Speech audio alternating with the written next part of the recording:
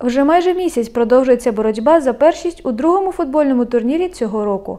У відкритому кубку перемоги взяли участь 12 команд. Поділені на три підгрупи, протягом трьох турів вони змагались за право очолити свою групу і вийти до півфіналу. Останній етап відбіркових ігор розставив остаточні акценти у групі Б.